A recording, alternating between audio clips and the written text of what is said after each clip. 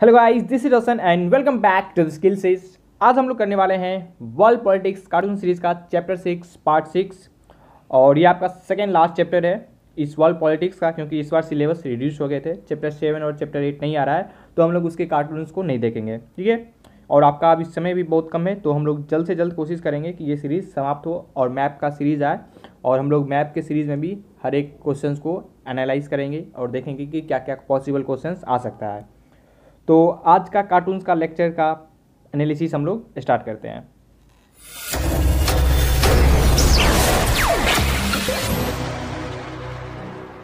U N and its organisation ठीक है?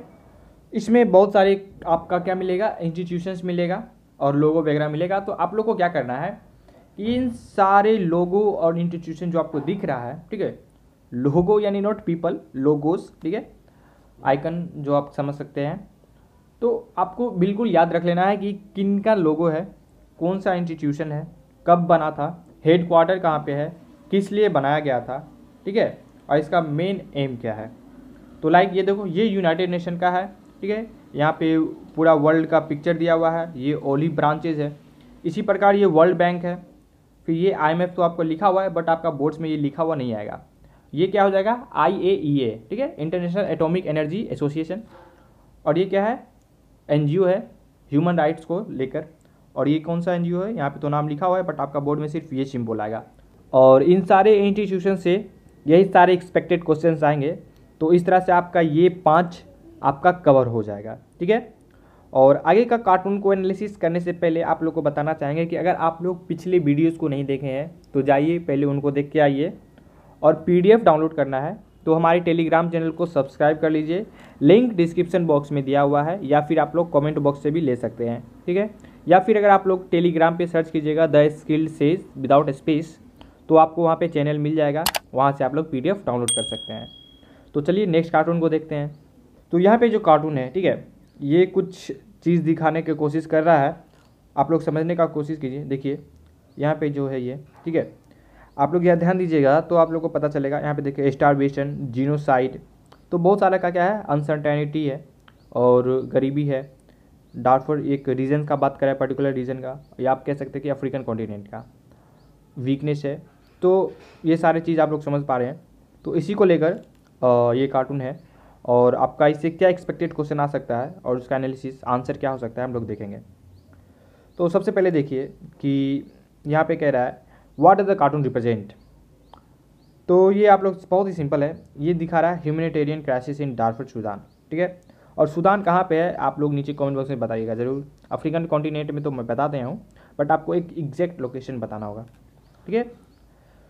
So what type of crisis does the cartoon show किस तरह का कार्टून दिखा रहा है? तो यहाँ पे जो जो सो क्राइसिस आपको दिख रहा है, वहाँ पे तो आपको बोर्ड्स में नहीं दिखने वाला है, क्योंकि उतना क्लियरिटी नहीं रहता है पिक्चर में। बट आप लोग इसको याद रख लीजिए, ध्यान दीजिएगा। तो आप लोग आंसर लिख पाइएगा। स्टारवेशन जीनोसाइड हॉरर तो आप लोग बुक में देख लीजिएगा तो अच्छे से तो आप लोग को पता चल जाएगा कि क्या क्या क्राइसिस था, ठीक है?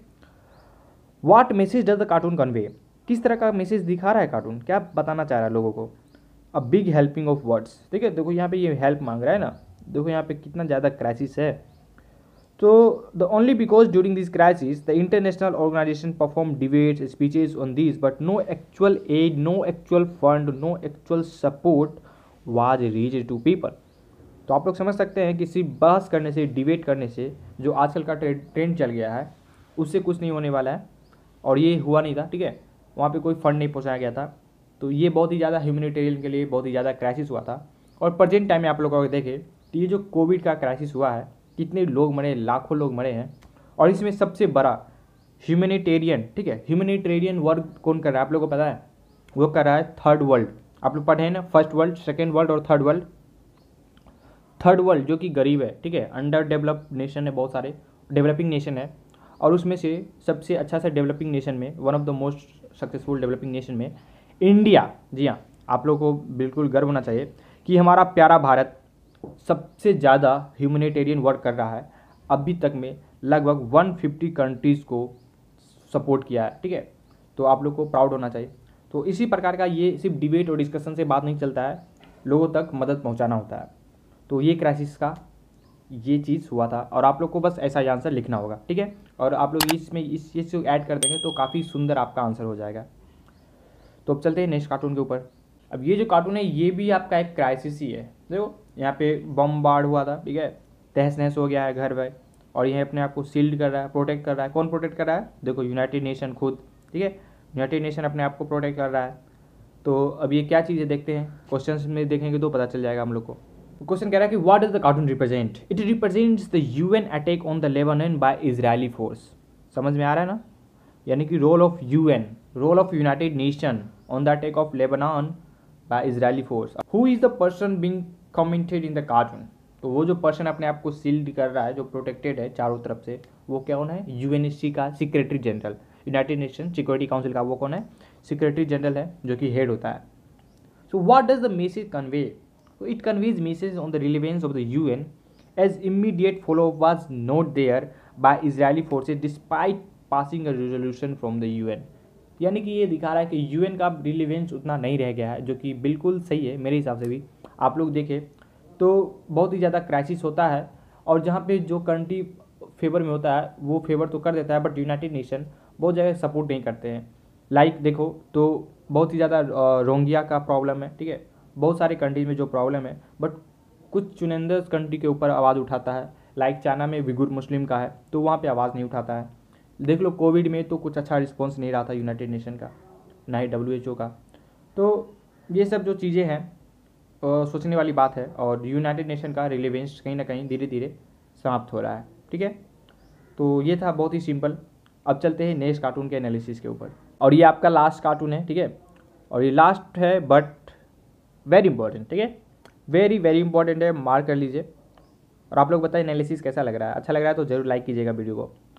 यहाँ पे दिखा रहा है कि व्हाट डज ई डिपिक्ट आप लोग सबसे पहले देखिए एक पर्सन है।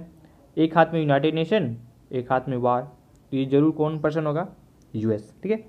So America represented by the man in this picture the US can force the country by accepting the decision of UN by any means देखो, यहाँ पे क्या कहना है यूएस का?